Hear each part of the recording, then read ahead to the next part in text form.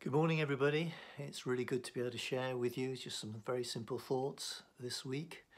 Um, probably like me, you've been thinking, what on earth is God doing? What is He saying to us in Market Rasen, but also to the church within this country? And while I was thinking and praying, my, my mind went back to when we were studying the book of Luke, uh, one of the preachers that I did right early on in the year I was drawn to a particular verse in chapter 8, verse 18. And it said this Be careful how you listen. And I believe that's what God is saying. He's got us hemmed in. Uh, Stuart Bell preached uh, a few weeks ago. He's got our attention and we need to listen. He's certainly doing something new. There seems to be a clarity amongst the church that God is doing a new thing. But what actually that new thing will look like, there doesn't seem to be clarity. And he's saying to the church, Will you wait upon me so that I can reveal to you what I want you to do, where I want you to go? I am certainly do a new thing. And at the moment, it's difficult to perceive what that actually is. So I think that's good. I'm excited that God, you're doing new things and you want the church to move in that direction. So what do we do um, in the in the meantime while we're intently listening? Well, again, God drew me to again a very famous and well-known bit of scripture. It's in Acts two,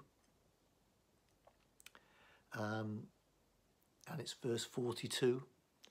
It's basically what the church is always called to do, and it's as we do these things that we will perceive what God is doing and what God is saying.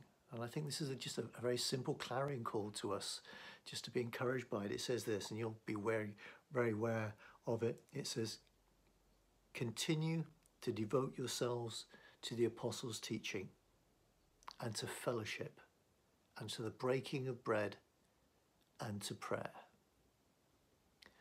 The best way, I think, for us to listen and to hear what God is doing is to devote ourselves to the Apostles' teaching, to Scripture, to dig deep into it and hear God speaking through His Holy Spirit.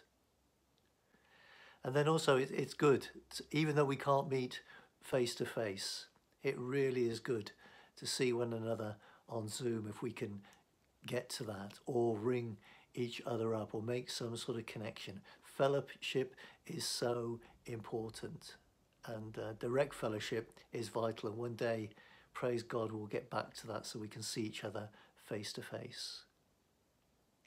But I hope you noticed also that we're more regularly uh, taking bread and wine together. I believe God's really bringing this to the fore where God uh, reveals himself through the breaking of bread as we proclaim his death and resurrection. It's important. And then finally, again again through scripture, um, the way to hear God is to devote ourselves to prayer. We need to be that praying people.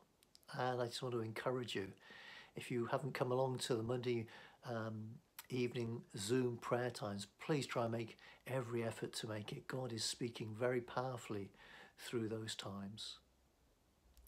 So my friends, I'm missing you uh, missing the fellowship together. It's a time to listen. And many of you I know have communicated to me. You're hearing things that God is saying to you. Keep those coming. I'd be really interested to know what God's saying to you. So listen carefully. And let's just dig deep into the Apostles' teaching, fellowship, breaking of bread, and prayer together. Have a great week, folks. Look forward to seeing you soon. God bless you all.